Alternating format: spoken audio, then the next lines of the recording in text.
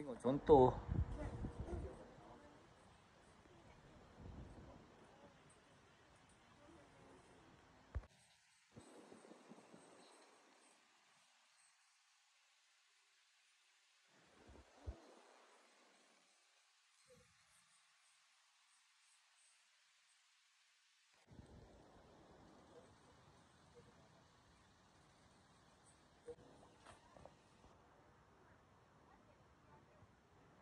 Dia suruh melukis je diam.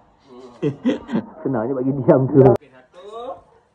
Satu, dua, tiga. Ah, nombor tiga. Cepat.